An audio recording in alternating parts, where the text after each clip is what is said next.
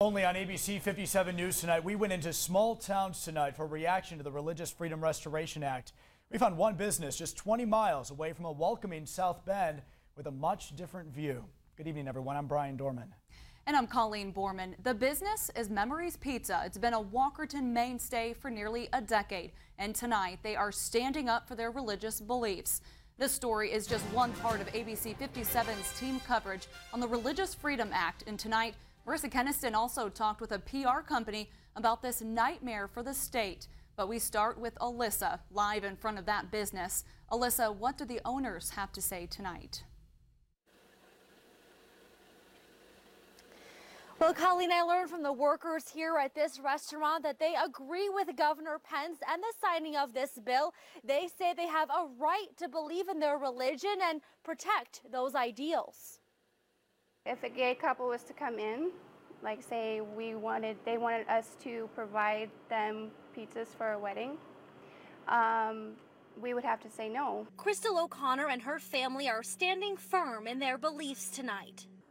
They've owned Memories Pizza and Ice Cream in Walkerton for almost 10 years, a small town business. It's a cute little town, Walkertucky. With small town ideals. We're a Christian establishment. They pride themselves in owning a business that reflects their religious beliefs. We're not discriminating against anyone. It's just that's our belief and everybody has the right to believe anything. So when Governor Pence signed the Religious Freedom Restoration Act into law, the family was not disappointed. We definitely agree with the bill. I asked her about the negative backlash it's been getting for being a discriminatory legislation.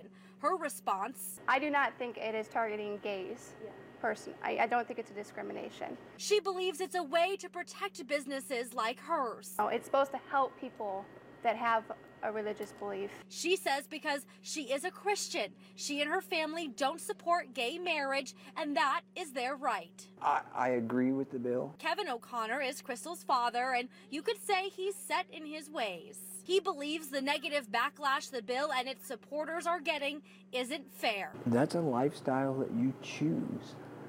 You know, I, I, I choose to be heterosexual they choose to be homosexual. Why should I be beat over the head because they choose that lifestyle?